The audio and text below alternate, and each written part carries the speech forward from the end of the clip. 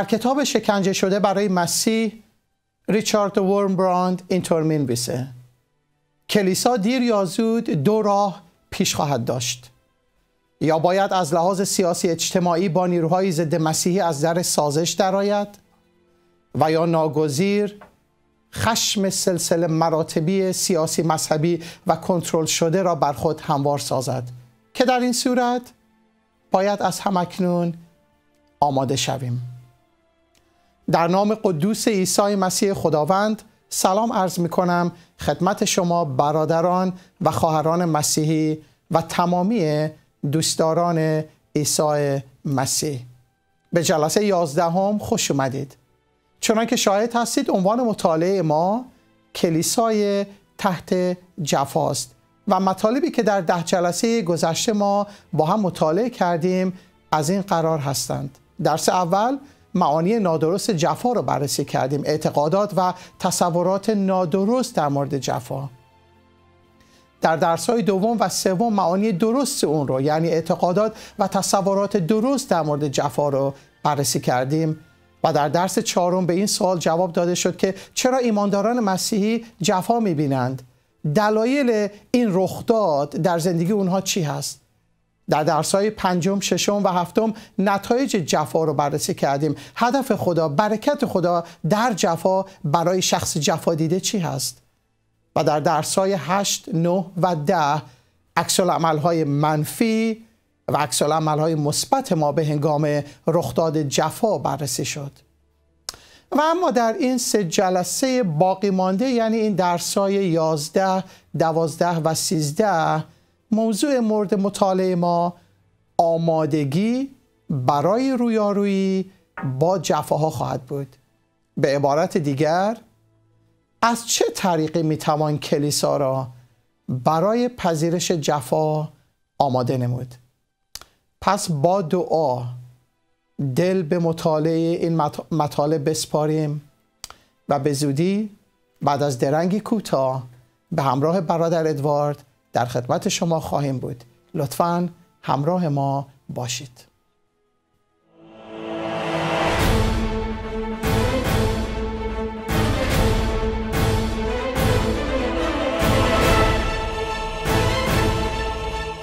وقتی خوب به تاریخ کلیسای تحت جفا بنگریم وقتی خوب به تاریخ کلیسای تحت جفا بنگریم تداوم حضور جفا را بخشی از حیات کلیسا خواهیم یافت. وقتی خوب به تاریخ کلیسای تحت جفا بنگریم تداوم حضور جفا را بخشی از حیات کلیسا خواهیم یافت. البته پیروزی عیسی مسیح بر درد و جفا نیز حقیقتی انکارناپذیر است.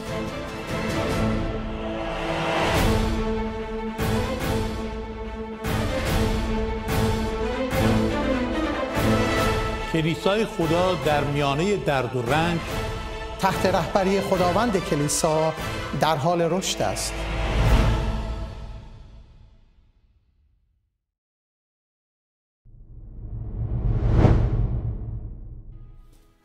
بینندگان عزیز و محترم ضمن عرض سلام در نام خداوند ما عیسی مسیح امروز وارد یک مبحث جدیدی از موضوع جفا می‌شویم در مورد آمادگی برای جفا.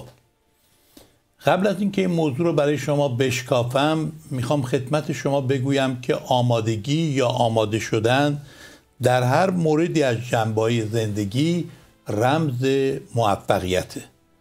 مثلا اگه کسی برای ازدواج و تشکیل زندگی مشترک آماده نباشد نمی‌تواند زوج یا زوجه موفقی برای همسرش باشه. اگه پدر و مادری برای بچه دار شدن آمادگی و شرایط مساعد را نداشته باشند نباید انتظار داشت پدر و مادر موفقی برای فرزندانشون باشند. همینطور اگه کسی برای یک خدمت و تصاحب یک منصب آمادگی و شرایط لازم را نداشته باشه مطمئنا با مشکلات جدی در اون قسمت روبرو خواهد شد. و نمی‌تونه فرد موفقی در اون خدمت باشه. به همین شکل در مورد کلیسای موفق و مبارک نیز موقعی که آمادگی برای جفا را ندارند جفاها می‌تونه این کلیسا را از پا در بیاره. ولی وقتی که آماده بود این طوفان سونامی نمی‌تونه بر کلیسا غالب بشه. می‌گویند پیشگیری بهتر از درمان هست. پس بیایید ما پیشگیری های جدی را برای برخورد با جفا و مقابله با اون پیشا پیش در خودمون تربیت کنیم یا تقویت کنیم. سوال اینه که از چه طرقی می‌توان کلیسا را برای پذیرش جفا آماده کرد؟ اولین طریق از همان شروع زندگی مسیحی. یعنی در موقعی که شخص تازه ایمان میاره حتی به نوع ایمانان. تعالیم زحمت شناسی جفا شناسی و شهادت شناسی رو بدهیم. این همان روشیه که عیسی مسیح به کار گرفت. ما قبلا لوقا 14 25 تا 27 رو خوندیم و اونجا در آیه 25 میگه عیسی به همه گفت. فقط به شاگردان نگفت. به همه گفت که اگه کسی بخواد منو پیروی کنه باید از همه چیز خودش بگذره نفس خودش رو انکار کنه صلیب خودش رو برداره دنبال من بیاد. بنابراین چه مسیح و چه رسولان در تعالیم خود کلیسا را با مکتب صلیب شناسی و دیدن رنج و زحمات آماده ساختند برای پولس هم که قبل از اینکه خدمتش رو شروع کنه خداوند او را برای پذیرش جفا آماده کرد که گفت که تو باید زحمت بسیار برای نام من بکشی. همینطور عیسی مسیح به پتروس که فکر کرده بود با این کار کردن اون می‌تونه میدان را خالی کنه ولی حالا که توبه کرده بهش میگه پتروس یوحنا باب 21 آیه 18 و 19 زمانی می‌رسه که دست و پای تو را می‌گیرن میبندن به جایی که نمی‌خواهی میری. و به این ترتیب اشاره به شهید شدن او کرد که به چه قسم باید برای عیسی مسیح جون خودش رو فدا کنه. پس این را به او گفت که آماده کنه او را برای اینکه دیگه دوباره تو این امتحان رفوزه نشه و باز بخواد انکار کنه. پس خیلی مهمه این آمادگی و ما بایستی کلیسا را با جفا صلح و آشتی بدیم. ایمانداران مسیحی باید باخبر بشن در مورد انواع جفاها در مورد رفتن به زندانها در مورد شهادت ها در مورد باججویی ها باید کلیسا را آماده کرد که چگونه می شود برخورد کتاب مقدسی با این مسائل داشت. اما نکته دوم کافی نیست فقط تعلیم را بدیم هر قدر شناخت و عشق ما نسبت به خدا حقیقیتر و شفافتر باشه همان مقدار بیشتر حاضر به پرداخت بها برای او خواهیم شد. اگر از پولس سوال می کردیم که پولس تو برای چی این همه حاضری عیسی رو فداکاری کنی؟ برای چی حاضری که جون تو بدی؟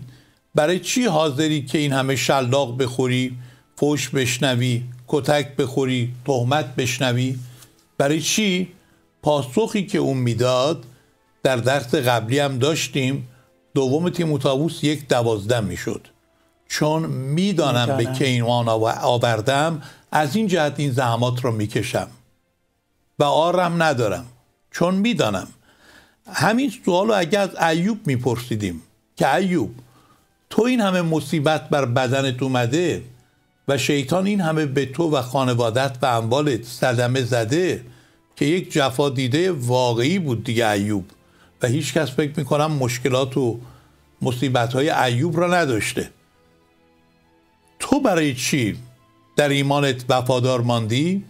پاسخ اونم شبیه پاسخ پولسه ایوب باب 19 آیه 24 میگه من می‌دانم که ولی من زنده است. و در ایام آخر بر زمین خواهد برخاست. و بعد از اینکه این پوست من هم تلف شود بدون جسدم نیز خدا را خواهم دید و چشمان من بر او خواهد نگریست و نه چشم دیگری. اگرچه گرده هایم در اندرونم تلف شده باشد.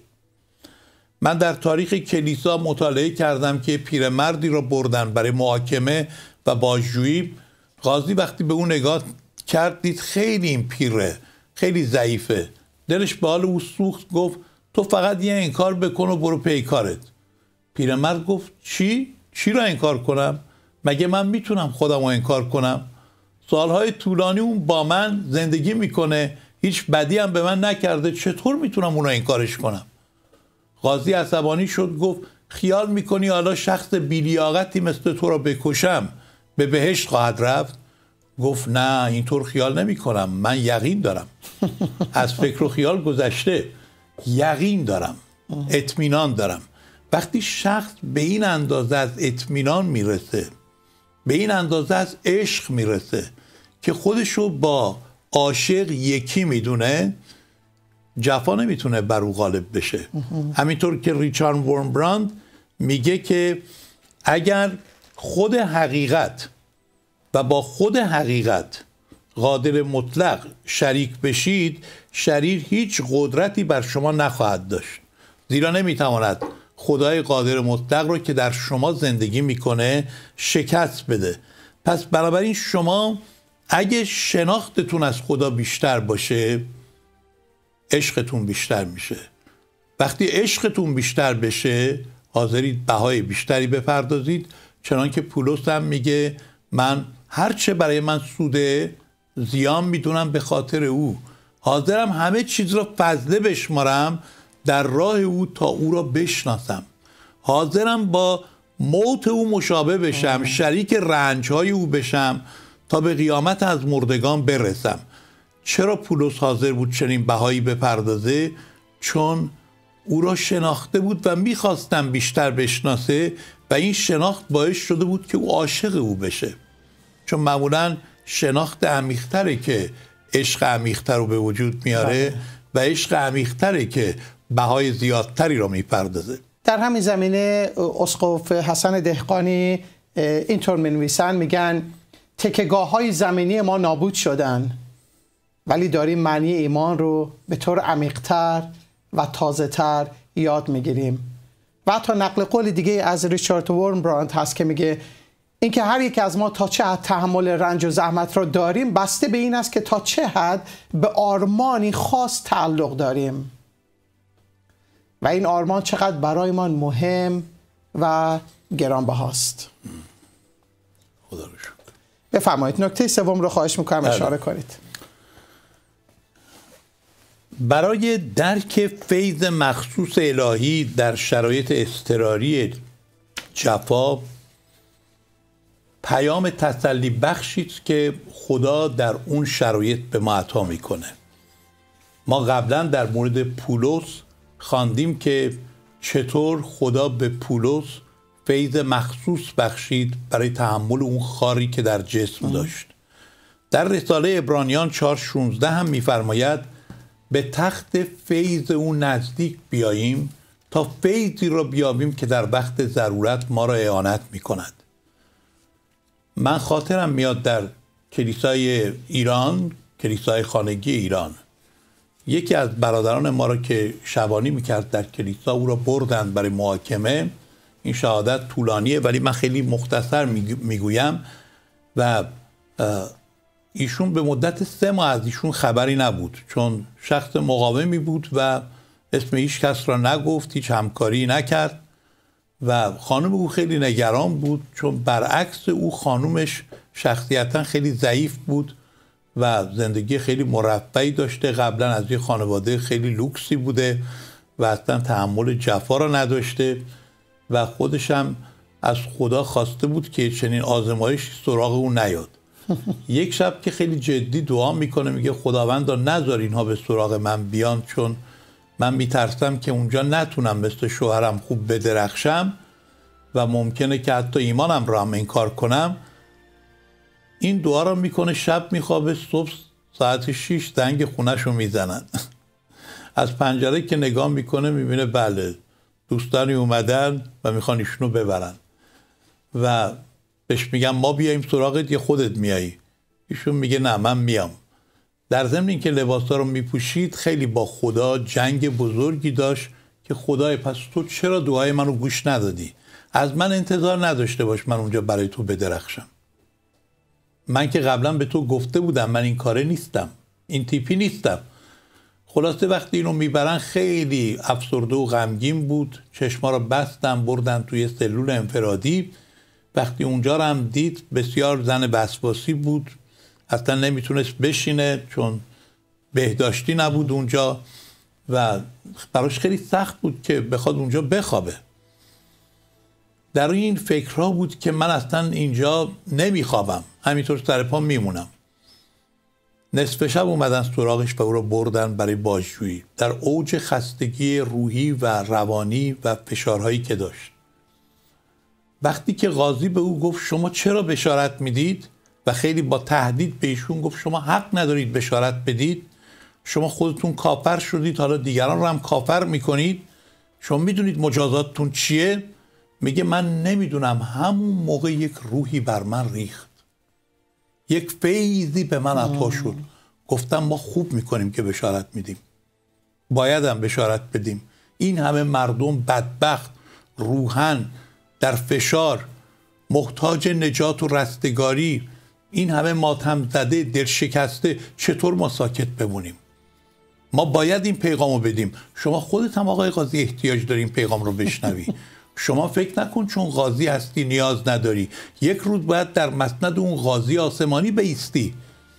من می‌دونم در زندگی شما خیلی مشکلات شخصی هست. نارامی ها استراب ها ناامیدی ها هست که هیچی نتونسته شما را آرام کنه و هیچ کس نتونسته خلاهای شما را پر کنه. از کجا می‌دونید عیسی مسیح منو نفرستاده اینجا که این پیغام رو به گوش شما برسونه. قاضی میگه باشه خانم باشه. من می‌دونم با شما چی کار کنم. پرونده تو خیلی زخیم تر کردی. حالا برو سلولت تا بعدن. وقتی میاد سلول خیلی ناراحت و پشیمانه که چرا چه این حرفایی زده باز دوباره افسرده میشه میترسه و میگه خب حالا فردا منو ببرن. تمام حرفایی که زدم پس می‌گیرم و توبه می‌کنم. بقیه هم لو میدم ایمانم هم انکار می‌کنم که منو ولم کنن. ولی عجیب فرداشم که می‌برن و روز بعدش هم که می‌برن همین اتفاق سه روز پشت سر هم میفته روح القدس فیض مخصوص به این خانوم برخلاف اون شخصیتی که داشت به او می‌کنه. خودش هم تعجب کرده بود. شب سوم که دیگه خیلی خسته بود و بالاخره تصمیم می‌گیره همونجا بخوابه یه طوری می‌بینه قاضی در رو باز می‌کنه وارد سلول انفرادی میشه. خیلی شکسته خیلی خورد شده خیلی پشیمان. ایشون اول میترسه ولی میگه خانم نترس. من امشب اومدم که شما برای من دعا کنید. میشینه اونجا در حالی که چشماش پر از اشک. میگه شما فرشته خدا بودید که به اینجا آمدید. من سه روزه در جهنم زندگی می‌کنم. شما از کجا می‌دونستید وضع روحی و روانی و درونی من اینقدر خرابه؟ شما خانم وقتی صحبت می‌کردید خودتون نبودید. نور تمام وجود شما رو گرفته بود. حضور خدا اونجا کاملا محسوس بود. پیغام شما مخصوص من بود. واقعا خدا شما رو برای من به اینجا فرستاده. گریه و خواهش و التماس که منو کمکم کنید تا من از این وضع نجات پیدا کنم. و اون خانم در هر صورت سه ساعت با ایشون صحبت می‌کنم و سلول انفرادی با هم دعا می‌کنن و قلبش رو به خداوند میسپاره و ایمان میاره و به اونا میگه که چجوری بشارت بدید که بتونید تو دردسر نیفتید. روش های بشارت رو هم بهشون یاد میده. و ایشون یکی از شاگردان مخفی خداوند میشه. ببینید فیض مخصوص خدا اون موقع عطا می‌کنه. اگر فرصت هست من یک نکته دیگر هم بله، بله، بدم مطالعه و تمرکز و تعمق به جفادیدگان و شهدای مسیحی و تجسم اونها در ذهن خودمون تمرین خوبی است برای آماده شدن واسه جفا. در ابرانیان 6 دوازده چی میگه به ما؟ ابرانیان 6 دوازده. و کاهل مشوید بلکه اقتدا کنید آنانی را که به ایمان و صبر وارث وعده ها می باشند گویا در ترجمه ای که شما اونجا نوشتید یک جور دیگه هم گفته که واضح تره نه؟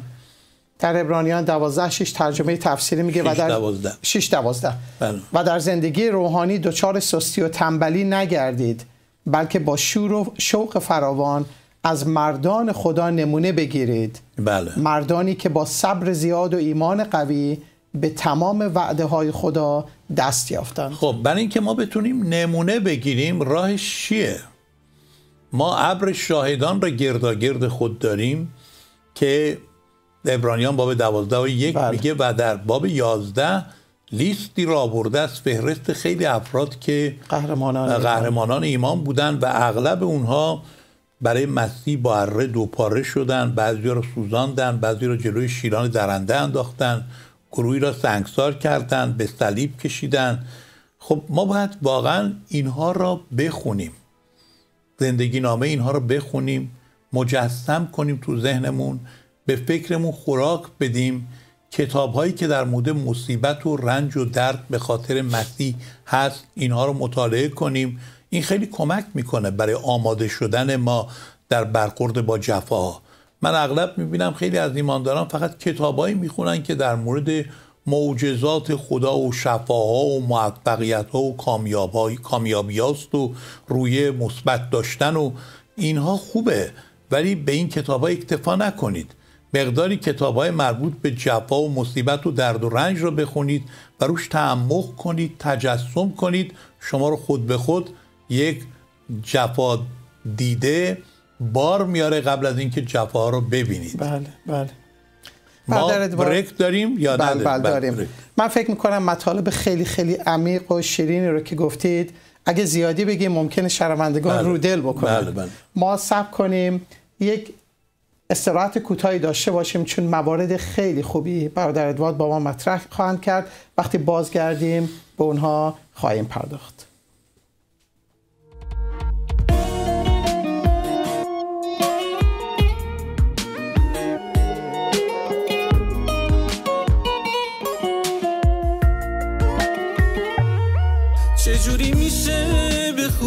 بخونم از کسی که توی چشماش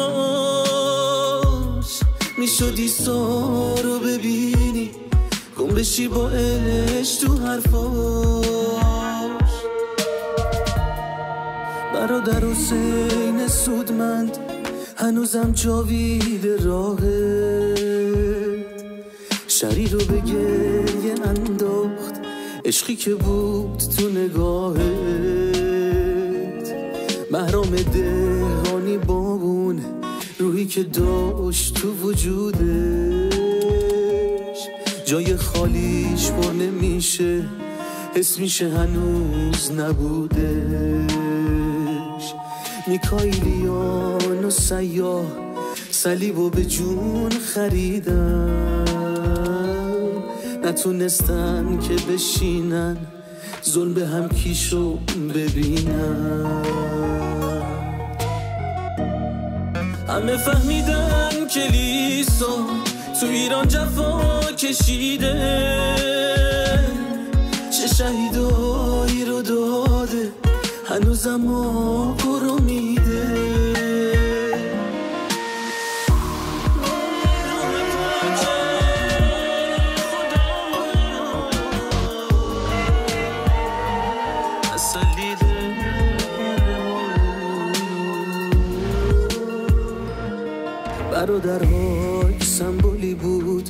واسه ایران و کلیسا.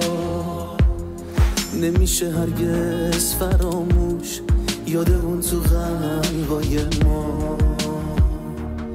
کنار مهدی دیباج شهدای راه ایسا جای اون سبز و جاوید هنوزم توی کلیسا. برادر یوسفی هم که پر حرفای خدا بود. حسابش توی شجاعت از زمینی ها جدا بود. چجوری میشه بخونم از کسی که توی چشماش می‌شدی سا رو ببینی؟ گم بشی با عشق تو حرفاش.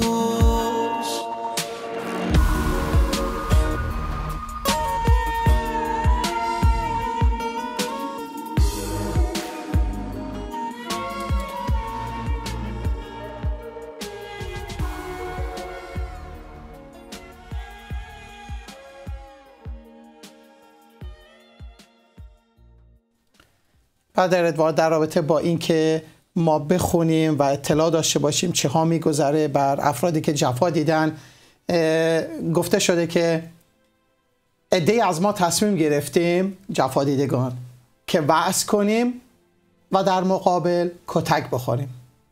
پس معامله ما این بود. ما وعظ می کردیم و آنها ما را کتک می زدند ما خوشحال بودیم که وعظ می کردیم و آنها خوشحال بودند که ما را کتک می زدند پس همه خوشحال بودند. یه بهشت واقعی بود بهشت واقعی. چه نگرش مثبت و خوبی. نکته پنجم در مورد طریق آمادگی برای جفا از طریق تربیت دادن خودمونه تمرین خودمونه در رابطه با انکار نفس دیسیپلین کردن خود یا انضباط مسیحی برای غلبه بر وابستگی های نفسانی و جسمانی. پولس رسول به تیموتاووس میگه ریاضت بدنی اندک فایده ای دارد یعنی ورزش و تمرین ولی ریاضت روحانی در همه چیز مفیده. یک عبارت معروفی است که میگه اگر شما عادت رو بکارید شخصیت خودتون رو درو خواهید کرد. و اگه شخصیتتون رو بکارید سرنوشت خودتون رو درو خواهید کرد. ولی چیاست که عادتهای ما رو می‌سازه؟ وقتی که ما تمرین می‌کنیم مرتب روی چیزی اون میشه کم کم جزو عادت ما و عادتهای ما میشه کم کم جزو شخصیت ما. و شخصیت ما هم سرنوشت ما را تولید می‌کنه. یک ورزشکار یا یک قهرمان رو خودش کار می‌کنه. شما حالا دو تیموتائوس باب دو را در این قسمت بخونید آیه سه و چهار را. آیات سه و چهار از رساله دوم پولس رسول به تیموتائوس باب دوم. چون سپاهی نیکوی عیسی مسیح در تحمل زحمات شریک باش هیچ سپاهی خود را در امور روزگار گرفتار نمی سازد تا رضایت آنکه او را سپاهی ساخت بجوید. دقت می‌کنید این اولین تشبیه که اینجا میاره. سپاهی یا سرباز یه هدف داره و هدفش چیه؟ جلب رضایت فرمانده. برای اینکه به این هدف برسه چه بهایی را میده؟ میگه خودش رو در امور روزگار, امور گرفتار, گرفتار نمی‌کنه. یا اسیر نمیشه. به هدف میچسبه. آیه بعدی را بخونید. آیه, آیه پنجم. بله. و اگر کسی نیست پهلوانی کند تاج را بدون نمی‌دهند اگر به قانون پهلوانی نکرده خب باشد. پهلوان یا همون ورزشکار. که یک تشبیه دیگری است از یک مسیحی از خود گذشته. اون هدفش چیه؟ برای اینکه تاج, تاج رو, تصاحب کنه. بهایی که میده چیه؟ به قانون. باید مطابق اصول قوانین ورزشی عمل بکنه. خارج از اون نمی‌تونه به تاج برسه. پس باز دیسیپلین میده خودش رو که موافق اصول بره جلو. طبق قوانین. حالا نکته بعدی آیه 6 آیه شماره 6 برزگری که مهنت می‌کشد باید اول نصیبی از حاصل ببرد؟ خب برزگر هدفش چیه یا کشاورز؟ هدفش جمعآوری محصوله. ولی بهایی که میده چیه؟ مهنتش. مهنت می‌کشه زحمات می‌کشه در اون آفتاب داغ تابستان میسوزه. ولی با این هدف که یک روزی محصولی به دست میاره. ما به عنوان یک ورزشکار به عنوان یک برزگر به عنوان یک سرباز. سرباز بایستی آماده پرداخت بها باشیم برای رسیدن به هدف. و پولس در پایان میگه که من تن خود را زبون می‌سازم اون رو تحت بندگی در میارم. در اول قرنتیان 927 مبادا چون دیگران را وضع نمودم خود, خود محروم بشم. بنابراین این تمرین می‌خواد. ما وقتی تمرین کنیم مثل اون خانوم می‌تونه شخصیت ما تبدیل بشه به یک برد فداکار و از خود گذشته. خدا رو شکر برای همه این مواردی که مطرح کردید خدا شما رو برکت بده. و ایمان داریم که چون این کلام کلام انسانی نیست کلام خداست. خدا به جهت تقویت کلیسای خودش این کلام و این شهادت ها رو به طور بسیار مؤثر به کار خواهد گرفت. فیض خدا. ای عزیزان برای شما دعا می‌کنیم و آرزوی ما این هست که شما با مسیح گام بردارید برای مسیح زندگی کنید و نام او در زندگی شما جلال پیدا کنه علا رقم تمامی مصیبت ها زجرها و جفاها. چجوری میشه بخونم؟ از کسی که توی چشماش می‌شدی رو ببینی. گم بشی با تو حرفاش